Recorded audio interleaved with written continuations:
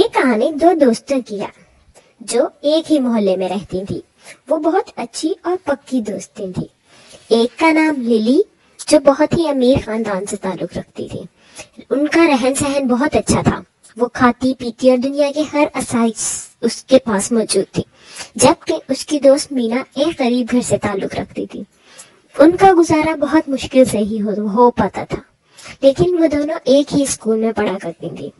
और आज जब लीला और मीना स्कूल गई तो उनके टीचर ने उनसे कहा कि हमारे स्कूल में बहुत जल्द एक टैलेंट शो कंपटीशन होने वाला है। मैं चाहती हूँ आप सब बच्चे उसमें पार्टिसिपेट करें और जीतने वाले बच्चों को दस दस हज़ार रुपए इनाम के तौर पर दिए जाएँगे। मीना और लिली दोनों इस बात को सुनकर बहुत खुश हुई क्योंकि वो दोनों ही चाहती थी कि हम इस टैलेंट शो में हिस्सा लें। लेकिन मीना ये भी जानती थी कि उसके पास ऐसी कोई चीज़ मौजूद नहीं है जिसके ज़रिए से वो अपना टैलेंट दिखा सके।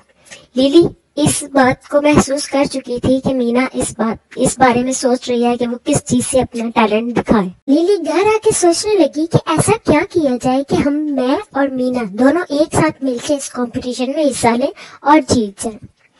लिली ने बहुत सोचने के बाद फैसला किया और शाम में जब उसके वालिद घर आए तो उसने अपने वालिद से कहा कि वो अपने स्कूल कंपटीशन में एक गिटार खरीदना चाहती है।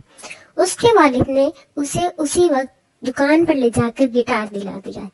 अगले ही रोज लिली स्कूल से वापसी पर मीना के घर चली गई और उसने मीना को वो गिटार दिखाया और उसने कहा कि मीना, ये गिटार मैंने हम दोनों के लिए खरीदा है।